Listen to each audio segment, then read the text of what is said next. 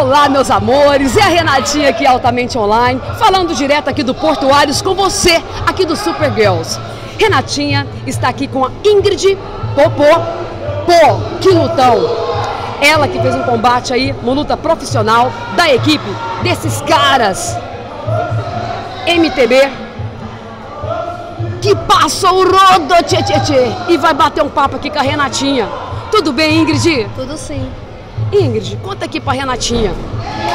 Você, luta, luta profissional, você consegue se definir hoje? Qual seria seu estilo? Se a Renatinha te perguntar, o que, que você me diria? É. Não sei o que falar. É uma pergunta difícil, delicada. Você diria você é Muay Sok, Muay Dan, Muay Cal? Como é que você se definiria? Vai filmando. mais cautelosa.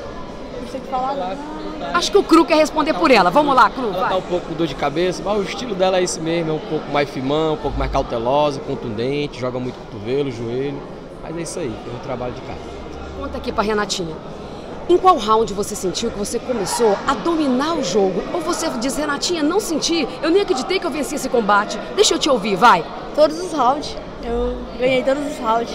Desde o começo. Desde o começo. Você jogou no Sabai Sabai ou não? Você já chegou no 12? Aí cheguei logo metendo a peia. Ela chegou metendo a peia, cara. Isso foi instrução de vocês? Então, a gente trabalhou, a gente tá trabalhando um pouco na cautela, né? A gente começou querendo ver qual era o primeiro, ah, o que tinha pra gente, daí a gente foi aumentando os ritmos. E jogando conforme o que vinha, né? O que vem de lá, a gente manda de lá, manda daqui pra lá o dobro, né? Olha só.